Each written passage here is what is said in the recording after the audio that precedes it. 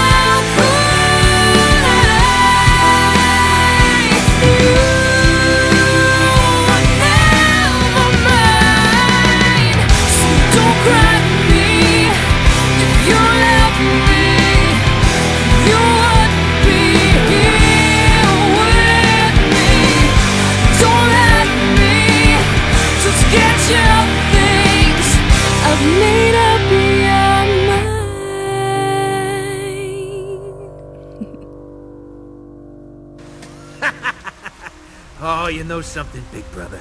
I'd have to disagree with you on that one.